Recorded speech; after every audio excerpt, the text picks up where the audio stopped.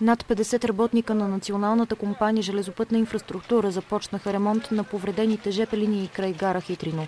От адската катастрофа са изкривени над 140 метра от железния път. Голяма част от тях вече са заменени с нови релси. Остава само да бъдат свързани с крепежните елементи. Изпочупени са и дървените и бетонови траверси, които също ще бъдат подменени с нови. Работи се основно по втори и трети коловоз.